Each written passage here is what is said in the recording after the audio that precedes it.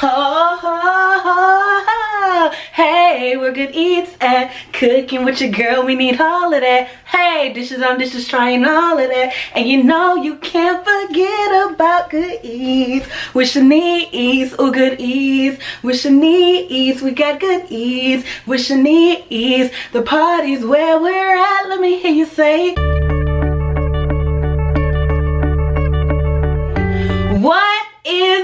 You guys. Welcome back to another episode of good eats with shanice the very first episode of 2020 i am your host for the evening and here is my lovely co-host by the title you guys already know we're about to switch it up a little bit because last year i went on a healthier lifestyle journey. So we incorporated better dishes with better ingredients cleaner eating but now let's be a little more intentional about our leftovers.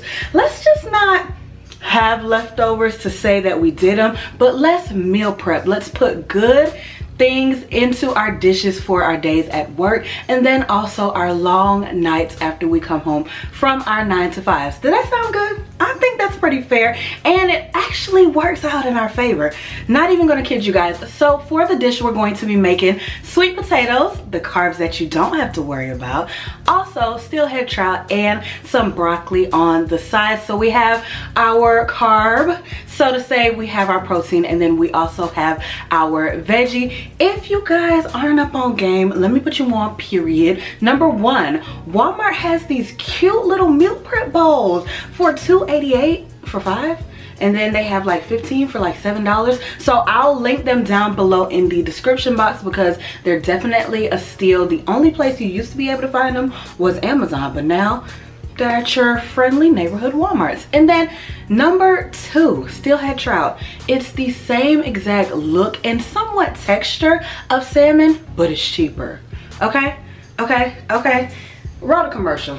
Give me a break. Okay so my favorite thing about this dish is that it's super simple and the longest cook time you have is actually your sweet potatoes. However if you know anything about your girl, she likes to work smarter and not harder. So the very first thing that we're going to do is preheat our oven to 400 degrees and then we're going to move in, wash our potatoes nice and thoroughly because for some reason, they're pretty icky. So I like to just take some warm water and I like to really, really, really wash those potatoes extremely well. And then once I'm done with that, of course, I'm going to pat them dry. I'm also going to place them on a cutting board. And if you guys are familiar with my twice baked potatoes, I'm going to use that same method of piercing the potatoes with a fork to create a little ventilation to speed up the baking process.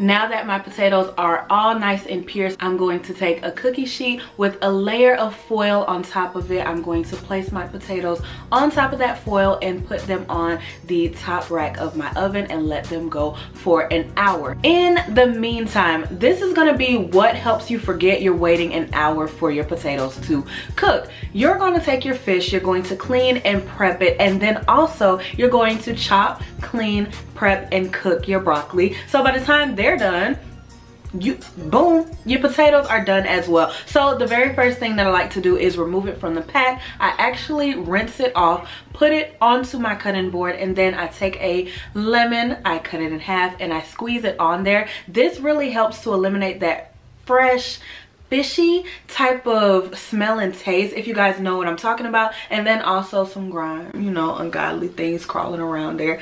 And yeah the slimy part of fish that nobody likes. I don't know about you. Don't judge me. Judge mama. But that's what this helps to do. I like to kind of let that lemon sit on there for maybe 10 to 15 minutes. And then i go in i rinse it off completely. And now it's time to season our fish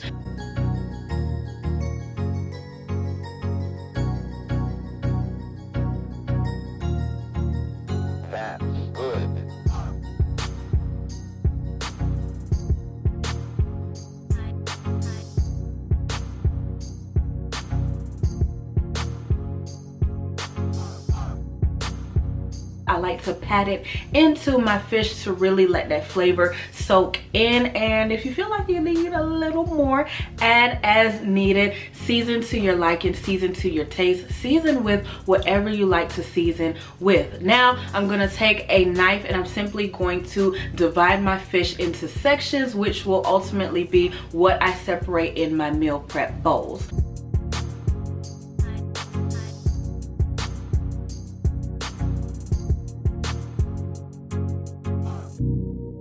With my vegan substitute butter. I'm gonna go in and I'm going to take maybe about a tablespoon on the back of my spoon. I'm going to take a knife and then I'm going to place that butter into the slits. That way it cooks nice and thoroughly throughout the fish. It gives it a nice little taste and texture. It keeps it nice and moist. We don't want no dry fish, okay? Now I'm just going to take some foil, cover it up, place it in the refrigerator and let it marinate for a little second because it's not going to take nearly as long as those potatoes or that broccoli to cook.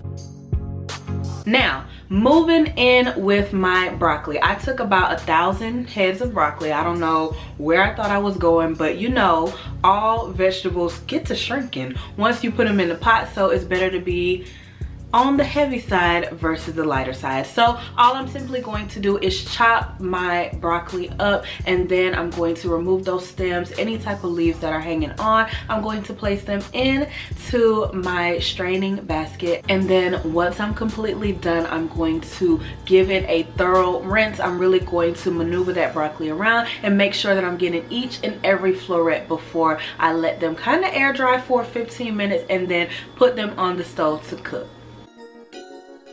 Okay, so now that my broccoli has had some time to air dry, I'm simply going to take my skillet, set my stove top to about medium heat, and then I'm going to add in two tablespoons of my vegan butter. Let that melt down and really grease the bottom of the pan. I'm going to take my broccoli, add it in, season it with similar seasoning to what I season my fish with. It's completely up to you. And then a nice little add-on to give it some good flavor to mix it up from just being traditional broccoli is this coconut aminos. It's like a soy sauce replacement and it kind of has like, I don't know, the teriyaki vibe to it. So I like to generously or gently, whatever you choose, coat the broccoli in that sauce. And then I'm also going to take my lid, place it on top of there so that that broccoli is able to really kind of cook down, shrink a little bit so I'm able to stir it up and I will go in and stir it occasionally. And I do not like my broccoli too soggy so this process doesn't take me more than 10 to 15 minutes. I like a little crunch.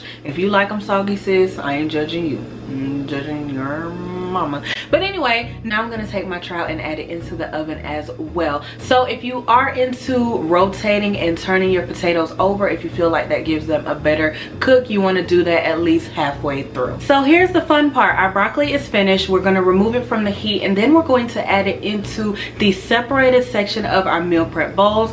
It's completely up to you. It's all preference. If you prefer to arrange your food differently go crazy. If you didn't get bowls with dividers go crazy i don't mind my foods touching but for those who do go crazy. So i'm just going to take about two of my pot spoons and put it into that section and if i have leftover broccoli which i actually didn't i would add it on top and kind of just fill up the areas that need to be filled in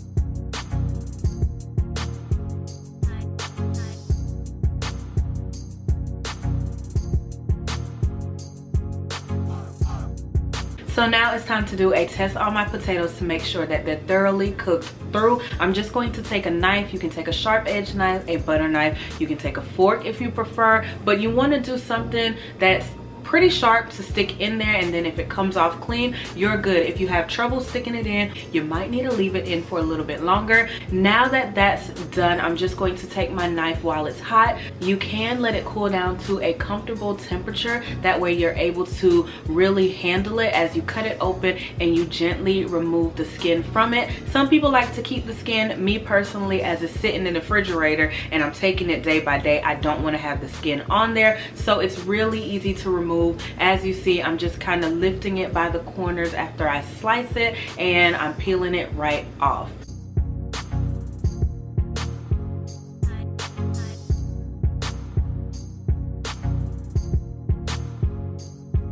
So So I made enough potatoes to give myself a pretty good portion for each day. I'm prepping five bowls and I kind of measured out what I would do with the potatoes by that last but not least as i was actually dividing out those potatoes i turned my oven off and i removed the foil from my trout and i allowed it to just kind of still cook but not direct heat. So as you see i'm just going to divide it out by those pre-cut slits that i already had in there place it into each bowl and that is it. You guys look at this. Look at this dish. Look at this. Each and every day of the week you're gonna eat good. And you've prepped it up. It's nice and clean. And you don't have to worry about feeling guilty for you know Uber Eats, DoorDash hitting you up while you at your station, while you at your desk because you didn't practice prior preparation. So you guys, that is it for today's Good Eats with Shanice. We had a different type of vibe, a different type of concept, but this is something very important that I do on a weekly basis. And of course, you guys know with my new healthier lifestyle journey, it's very essential that we meal prep. Let me know down below in the comment sections if you're a fan of sweet potatoes. Have you ever tried steelhead trout? Did you know the jug sis? Are you willing to try it? Because it's really good and if you like salmon i'm pretty sure that you'll fall in love with that as well. So yes you guys i hope you enjoyed this episode. I hope you learned something new and i hope you incorporate this type of regimen into your weekly routine. You guys already know the drill. If you like this video give it a thumbs up. Don't forget to comment down below. Let me know know what you'd like to see next. And if you are not a part of the gang go ahead and hit that red subscribe button baby. Tap the bell so you never miss another video upload from your girl we are hitting 100k this year and i don't want you to miss out. So yes you guys remember to be interacting. Letting me know what you want to see here on the channel. I will see you guys in the next episode of good eats with shanice. Love you guys. Peace